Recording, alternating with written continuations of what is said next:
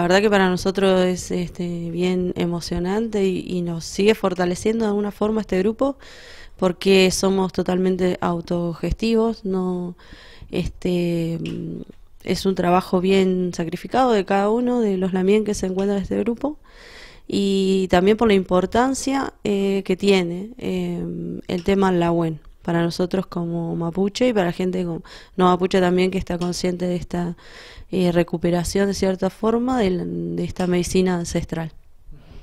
Eh, Lamien, ¿cómo se da esta posibilidad de, pensar en un espacio para dedicar al, al Lagüen?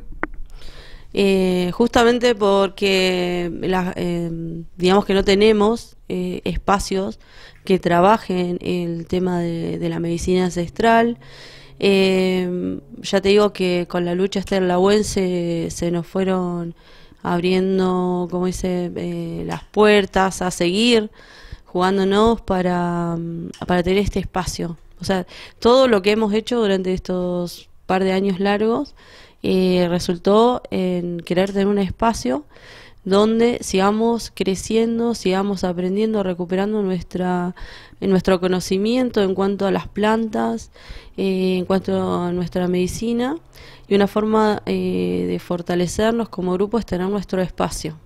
Un espacio que no es cerrado, sino que es abierto y que cualquier persona que quiera acercarse eh, es comunitario, eh, se puede acercar. Mapuche, no mapuche, la salud es igual para todos, hay formas diversas ¿no? de, de, querer uno llevar su salud adelante. Y bueno, la, nosotros, la mapuche, eh, las estamos recuperando a través de nuestras plantas. este espacio físico, eh, ¿cuánto tiempo les llevó? Y bueno, ¿y en qué etapa está eh, en este momento?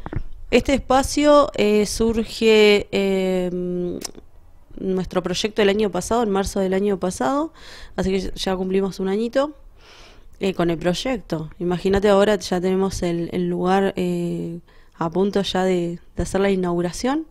Así que súper contentos en ese sentido.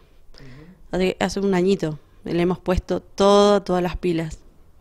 Bueno, eh, vemos que están ya con las, últimas terminaciones de, la ruca y además ya están en la etapa de recolección ¿no? de la WEN, de, de las plantas medicinales. Por supuesto, ahora viene, tenemos nuestro espacio y lo tenemos que llenar de nuestra medicina ancestral, que son nuestras plantas autóctonas, y estudiando, o sea, reconociendo, aprendiendo nuevamente este, los nombres, dónde crecen, dónde están.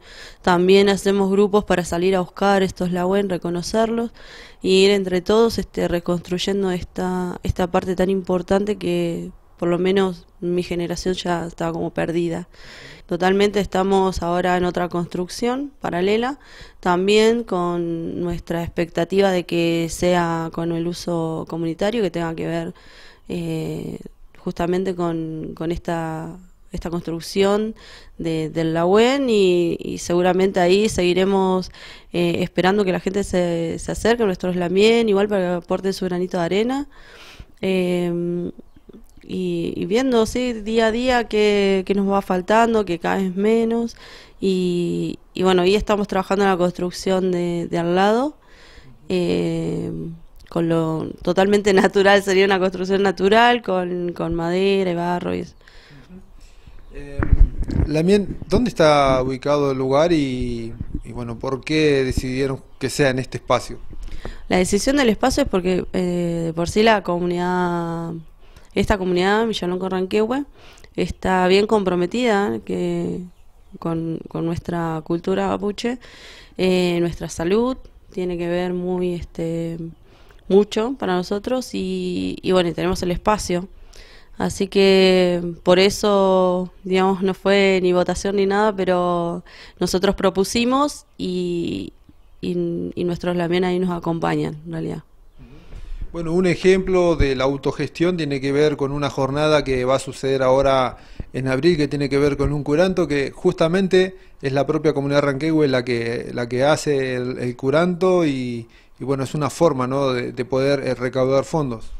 Exactamente, va a ser nuestra primera actividad, el curanto del 14 de abril. Eh, lo vamos a hacer acá en la comunidad, en el salón comunitario de la comunidad.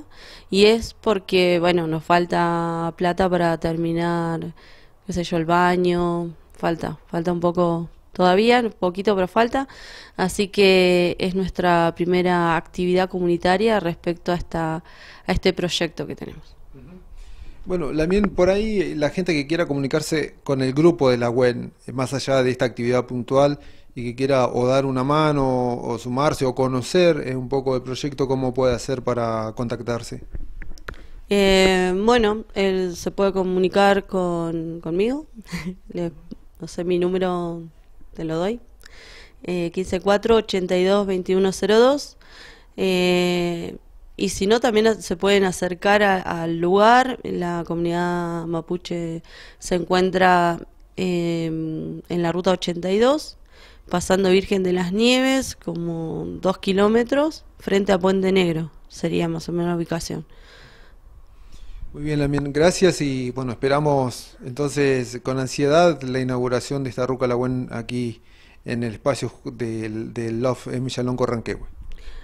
Feley Lamien, nosotros también. Y, bueno, y esperar a toda la, gente, como dije antes, un lugar abierto.